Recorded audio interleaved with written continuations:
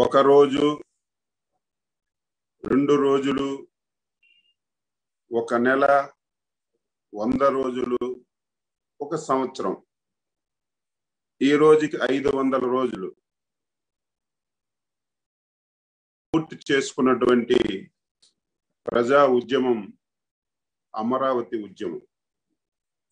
నాకు తెలిసి నేను ప్రత్యక్ష సాక్షిని. ఎందుకంటే శాసనసభ్యుడిగా ఉన్నాను కాబట్టి డిసెంబర్ పంతొమ్మిది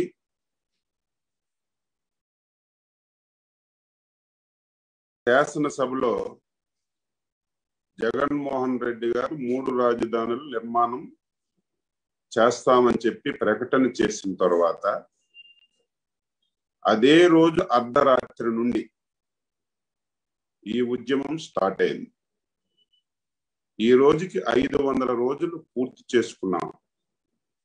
నాకు తెలిసి దేశంలో ప్రపంచంలో ప్రజాస్వామ్యబద్ధంగా న్యాయబద్ధంగా ధర్మబద్ధంగా జరుగుతున్నటువంటి ఉద్యమం చరిత్రలో నిలిచిపోయినటువంటి ఉద్యమం మన అమరావతి ఉద్యమం అని చెప్పి నేను గర్వంగా చెప్పదలుచుకున్నాను.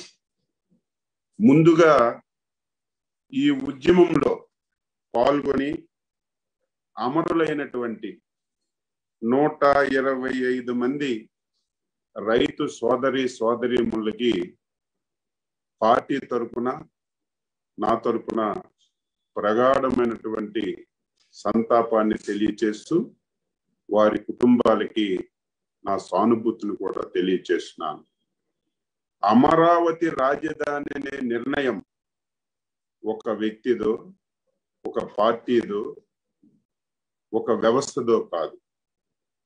అన్ని రాజకీయ పార్టీలు ఐదు కోట్ల మంది ప్రజలు సంఘటితంగా ఏకాభిప్రాయంతో తీసుకున్నటువంటి నిర్ణయం అమరావతి రాజధాని అనే విషయాన్ని ప్రతి ఒక్కరూ గుర్తుపెట్టుకోవాలి.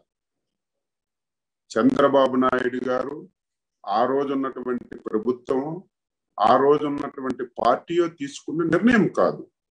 శాసనసభలో సుదీర్ఘమైనటువంటి చర్చ పెట్టి అందరి అభిప్రాయాలు తీసుకున్న తర్వాత ముఖ్యంగా ఈ రోజున్నటువంటి ముఖ్యమంత్రి ఆ రోజున్నటువంటి ప్రతిపక్ష నాయకుడు గంటాపదంగా నేను మనస వాచ కర్మేణ అమరావతి రాజధానిని అంగీకరిస్తున్నాను. అందరం కలిసికట్టుగా మంచి రాజధాని నిర్ణయం చేద్దామని ఒక నిర్ణయం తీసుకున్న తర్వాత దానిని ఒక చట్టాన్ని తయారు చేసిన తర్వాత ఆ రోజున్నటువంటి ప్రభుత్వం పైన ఆ రోజున్నటువంటి నాయకుడు చంద్రబాబు నాయుడు పైన అచంచలమైనటువంటి విశ్వాసం నమ్మకం ఉంచి సుమారుగా ఇరవై తొమ్మిది వేల ఎనిమిది వందల ఎనభై ఒక్క మంది రైతులు ముప్పై రెండు వేల మూడు వందల ఇరవై మూడు ఎకరాలు మన రాజధానికి ఇవ్వడం ఆంధ్రప్రదేశ్లో ఐదు కోట్ల మంది ప్రజలు చేసుకున్నటువంటి అదృష్టం అని చెప్పి నేను భావిస్తున్నాను. ఎందుకు ఈ మాట అంటున్నానంటే ఒక గజం స్థలము ఒక అడుగు స్థలము ఈ రోజు ఇవ్వాలంటే ఎన్ని బాధలు పడుతున్నామో మనందరికీ తెలుసు.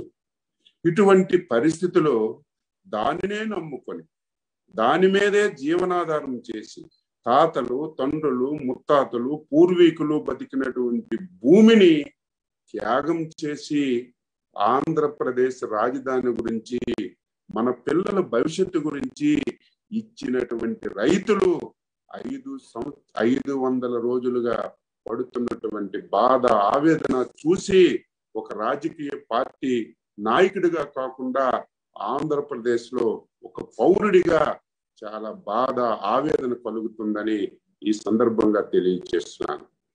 ఈ రోజు అమరావతి రాజధానిని ఈ రోజు తప్పించడానికి రాజధాని మీద తప్పుడు ముద్రేయడానికి ఇప్పుడే మా శివారెడ్డి గారు చెప్పినట్టుగా లక్ష కోట్లు ఖర్చు అవుతుందని ఇది ఒకే కులానికి చెందిందని వర్షాలు వస్తే వరదలు వస్తే మునిగిపోతుందని ఆ రోజు ఇన్సైడ్ ట్రేడింగ్ జరిగిందని ఒకదానికి ఒకదానికి ఒకదానికి చెప్పి అబద్ధాలు ప్రచారం చేసి రెండు సంవత్సరాలు పబ్బం గడుపుకున్న సంగతి కూడా ప్రజలు గుర్తు పెట్టుకోవాలి ఈ రోజు అవన్నీ పటాపంచులయ్యాయి.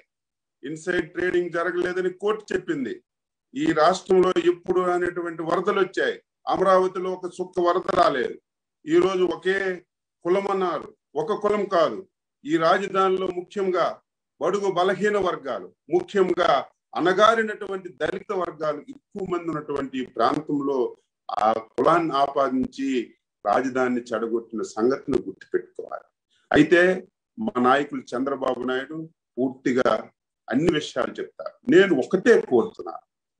జగన్మోహన్ రెడ్డి ఈరోజు పిచ్చి తొగ్లక్ పరిపాలన.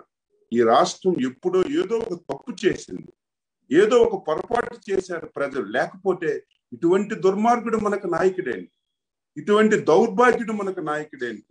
ఇటువంటి వ్యక్తి మనకి నాయకత్వం వహించడం నేను చాలా బాధపడుతున్నాను. ఇదేదో రాజకీయ విమర్శ కాదు. ఈరోజు ప్రజలు ఏ విషయాన్ని మీరు తీసుకోండి అమరావతి రాజధాని ఈ రోజు విచ్ఛిన్నం చేసినప్పటి నుంచి ఈ రోజు కరోనా వరకు ఒక్కటంటే ఒక్కటి ప్రజా నిర్ణయం తీసుకోవడం లేదు. ప్రజలు అందరూ ఏదైతే ఆమోదయోగ్యంగా చెప్తున్నారు దాని నిర్ణయం తీసుకోవడం లేదు. ఐదు కోట్ల మంది ఒక్క నిర్ణయం తీసుకుంటే దానికి వ్యతిరేకంగా జగన్మోహన్ రెడ్డి నిర్ణయం తీసుకుంటున్నారు. మీరు చూడండి ఈరోజు ఇంటర్మీడియట్ టెన్త్ పరీక్షలు. ఐదు కోట్ల మంది ప్రజలు విద్యార్థులు తల్లిదండ్రులు అన్ని రాజకీయ పార్టీలు అన్ని వర్గాలు. అయ్యా వద్దు. ప్రజలు ప్రాణాలు పోతాయి. విద్యార్థులు ప్రాణాలు పోతాయి అని వద్దంటే ఆయన ఒక్కడే కావాలంటున్నాడు. అందుకే ఈ మధ్య చాలా మంది అంటున్నారు మీరు అమరావతి రాజధాని ఐదు వందల రోజులైంది. మీరు ఎంత ఉద్యమం చేసినా ఈ జగన్మోహన్ రెడ్డి పట్టించుకోడు. రివర్స్లో మీరు వెళ్ళండి అని నాకు చాలా మంది అడుగుతున్నారు. ఏంటి రివర్స్? మీరందరూ రాజధాని వద్దనండి.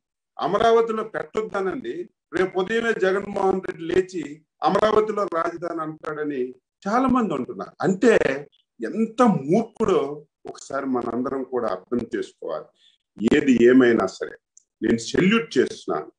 ఈరోజు కరోనా ఉధృతంగా ఉన్న పోలీసులు అక్రమ కేసులు పెట్టిన మహిళలను చూడకుండా ఈరోజు భౌతికంగా దాడులు చేసిన ఇరవై రోజులు ముప్పై రోజులు జైల్లో ఉన్న వెనకకుండా వనకకుండా ఇది మన రాజధాని మన భవిష్యత్తు గురించి మన ప్రజలు పూర్వీకులు మనకి సంపాదించినటువంటి భూమిని మనం త్యాగం చేశాం ఒక ఆశయం గురించి మనం ఇచ్చాం ఆశయాన్ని నెరవేర్చుకోవాలని పట్టుదలతో ఈ రోజు ఉద్యమం చేస్తున్నటువంటి ఉద్యమకారులందరికీ తెలుగుదేశం పార్టీ తరఫున శిరస్సు వంచి నమస్కరిస్తూ తెలుగుదేశం పార్టీయే కాకుండా వ్యక్తిగతంగా మేము ఈ రోజు రాష్ట్రంలో ఉన్న ప్రతి ఒక్కరూ ఈ ఉద్యమానికి సపోర్ట్ చేయాలి. ఎప్పుడైనా ఎన్ని ఇబ్బందులు వచ్చినా ఎన్ని కష్టాలు వచ్చినా చివరికి గెలిచేది ధర్మం న్యాయం.